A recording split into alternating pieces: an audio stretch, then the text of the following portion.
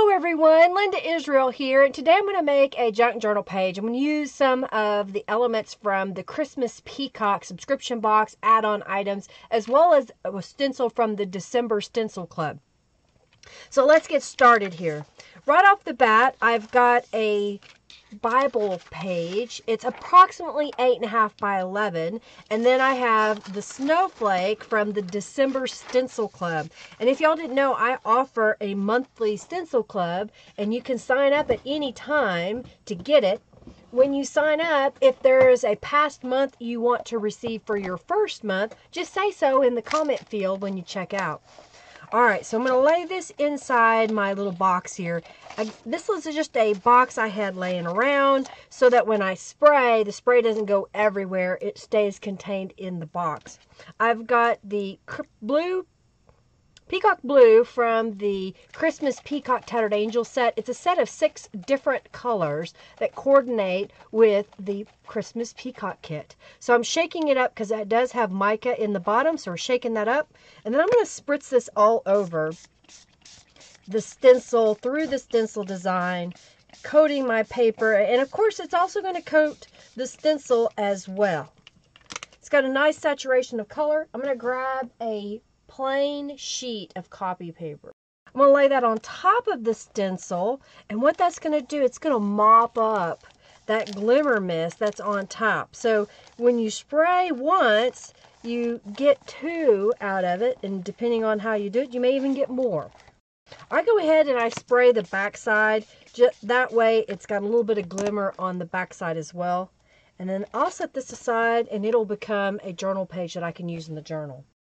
And then here is the Bible page with the snowflake on there. Isn't that pretty? Set this up out of the way for a moment. I've cut some one and a half inch by 11 inch strips and I've got four of them. This is from a gel print that I made during my mixed media live on Thursdays and I scanned it in and I've created it as a digital download. So if you are a YouTube person that has followed me and you've made donations during my live streams, you get it for free. And if you are a subscriber to one of my subscription boxes, you'll be able to get this as well. I'm using the Shabby Stitches and I'm going to stitch down both sides from one side to the other and across the top like so. I'll also do the sides so that the whole rectangle has shabby stitches all the way around. I'm going to repeat that on the other three pieces. And while I have the shabby stitches out, I took another one of those gel plate prints that I scanned into my computer and I printed it and I've cut it in half. So this is four and a quarter by 11 inches and I'm going to go all the way around it with the shabby stitches. Next, I'm going to take some Distress ink. This is Walnut Stain, and I'm going to go around all four, five of these pieces. All right, so I've got all those pieces ready to go. Next, what I'm going to do is I've got this strip that's part of the printed kit. You can also get it as a digital download in my shop. And when I put it on here, it's a little bit short, and I really need the whole width of it. So here's my idea that I came up with. I'm turning it over to the back side and I've got a little scrap of paper that I had trimmed off of when I was fussy cutting the items out. So I'm just going to take, oh, an inch, inch and a half, do two of those. Then I'm going to fold it in half.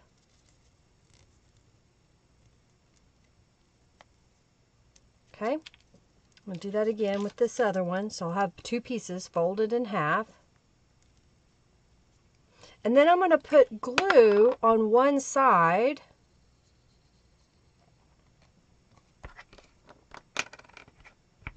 And I'm going to glue it down right next to the edge here. So basically, I've glued that little piece down right there on the edge. I'm going to do that on the other side as well. And then what I do is I'll grab some transparent tape. So just some transparent tape. and just a little piece of it. Don't need a lot. And I will place this over that little tab. And it'll help keep that in place. And it'll also keep papers from snagging on it when they go in and out. Okay, so that's just help holding that down. It's not always necessary, but it's something I do. I'm going to go ahead and fold this page in half. So I know where the center is. And I'm going to fold the belly band in half. So that's going to go right here in the middle of my page. And what I'm going to do is put just a little bit of glue on this little tab we just added. And that's going to help me get the whole width of this belly band as a usable space in my journal. Then I'm going to take one of these blue strips and we're going to glue it across the top and we're going to glue another one across the bottom. Just using Aleene's tacky glue again.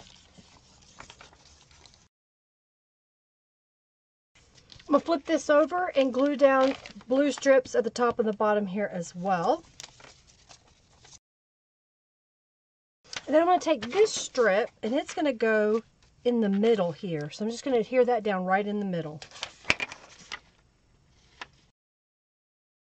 All right, so let's finish decorating this side of the page. I've got a corner pocket that's part of the Christmas Peacock kit.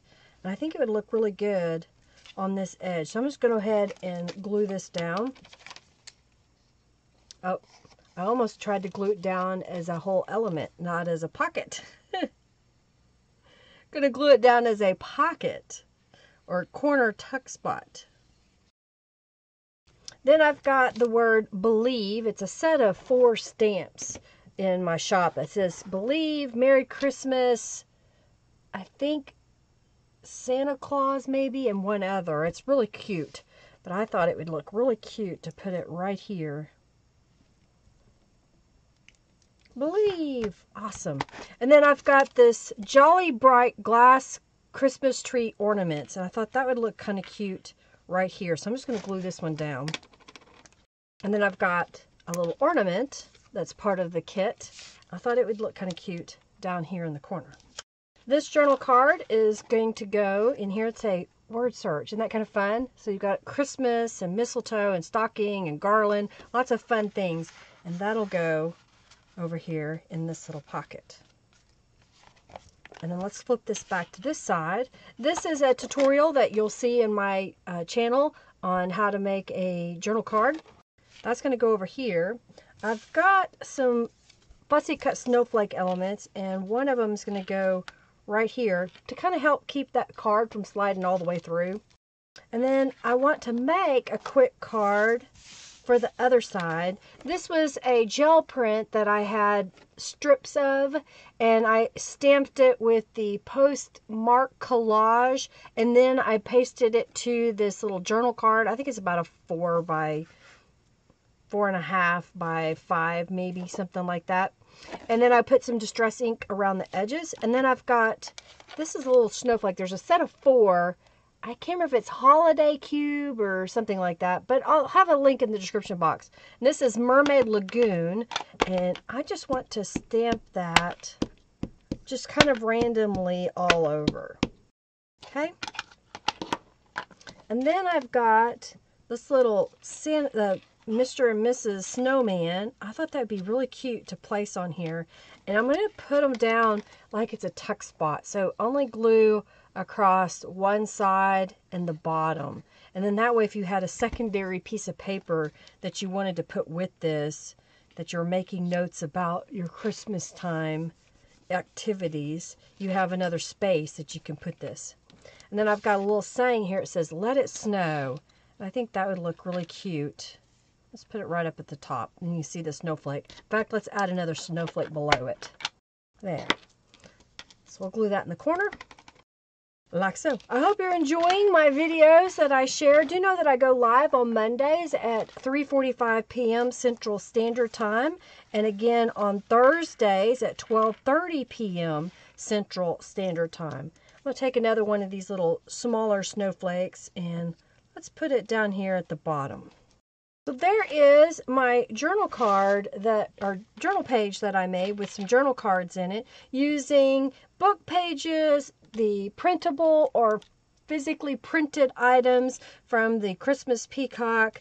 We used some Tattered Angels and a stencil. And then, of course, these are some of my gel prints that I have made into a digital download and then rubber stamping. I love the way that Shabby Stitches looks. Well, I hope you enjoyed seeing a tutorial on how to put together a junk journal page in a Christmas theme. Thank you so much for watching. If you like this video, give it a thumbs up. Share it with your friends. Of course, comment if you have any comments. If you haven't subscribed, please subscribe. And thank you so much for watching. Do check out the Friendly Junk Journal People Facebook group as well as my other group by Linda Israel on Facebook.